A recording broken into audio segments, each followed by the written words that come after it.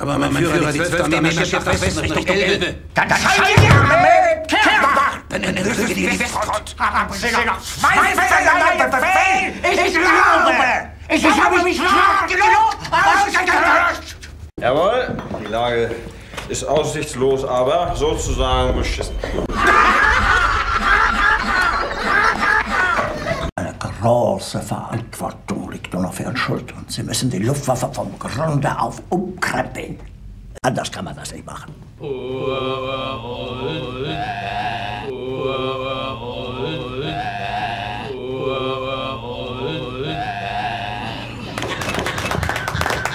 Nur um zu lernen, wie man Messer und Gabel hält. Fägerei! Darin! Erfahrt! Das ist der schlimmste Verrat von allen! Sind Sie denn alle verrückt geworden? Kommen Sie, ich muss hier raus. Mein Führer, dann ist die 9. Armee verloren. Der Angriff Steiners war ein Befehl! Es ist unwahrscheinlich, dass Wenk mit seinen wenigen Verbänden der Roten Armee. Wir sind Soldaten. Wir haben unseren Eid auf den Führer geleistet. Wenk hat der Roten Armee absolut nichts entgegenzusetzen! Wenn er sich ohne Befehl entfernt hat, ist das Fahnenflucht. Parat! Ihr Ansuchen, Berlin zu verlassen, ist ganz und gar unakzeptabel. um einfach aus Berlin wieder rauszukommen. Göring, was Sie mit Ihren medizinischen Forschungen erreicht haben, dafür werden Ihnen kommende Generationen dankbar sein. Von wo kommt der Beschuss? Verschiebt Divisionen auf der Landkarte, die gar nicht mehr existieren. Glaube, ich habe mich klar genug ausgedrückt. Fägerei! Dieser Versager, dieser Schmarotzer. Ein paar vanille Faulpelz! Heute bin ich nur angekommen, sage, bin ich zu spät.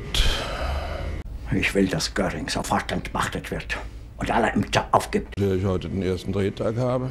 Ist der Mann auf der Stelle hinzurichten. Nur wenn wir Tod sterben. Aber dafür müsste man ihn an die Wand stellen! Zu viel! Zusammenreißen! Das war ein Befehl! Der Angriff Steiners war ein Befehl! Ich will sofort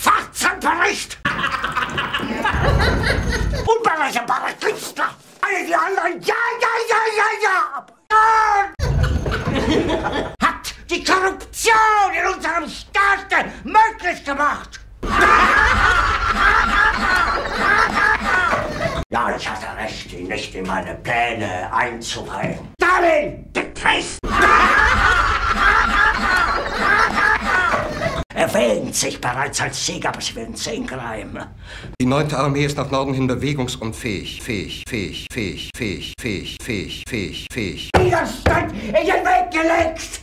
Ich hätte gut daran getan! fähig. Jeder hat mich belogen, sogar die SS!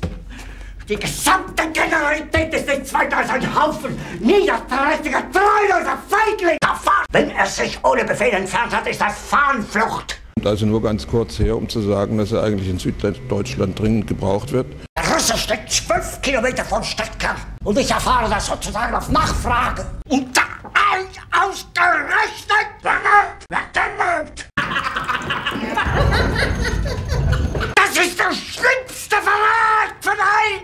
Fägerei! Offiziere, die sich dieser Anordnung nicht bedingungslos fügen, sind festzunehmen und augenblicklich zu erschießen. Wir werden den Feind in einer riesigen Zangenbewegung zerquetschen. Zugleich falle ich dem Russen mit drei Armeen, die bei Prag bereitstehen, in den Rücken. Es steht, wir können nicht kapitulieren. Das wäre niemals im Sinne des Führers. Damit können Sie die Luftwaffe wieder schlagkräftig machen. Und wir sind seinem Willen verpflichtet. Kapitulieren! niemals! Das ist das Empört! Ich habe ich Berlin vor Jahren gegen die Roten erobert und werde die Stadt bis zum letzten Atemzug gegen die Roten verteidigen. Meine Unterschrift unter eine Kapitulationsumsetzung zu setzen! Von allem Anfang an bin ich so verraten und betrogen worden. Es wurde ein ungeheurer Verrat geübt am deutschen Volke. Aber alle diese Verräter werden bezahlen. Mit ihrem eigenen Blut werden sie bezahlen. Sie werden es saufen in ihrem eigenen Blut. Wir müssen die Zivilbevölkerung schützen. Der Befehl des Führers ist un umstritten. Egal, was passiert, wir werden doch keine nicht Wir Ende. müssen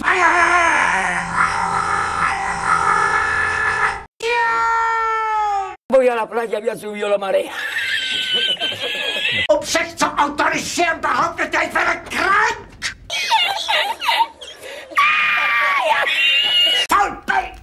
Hemos llorado los dos.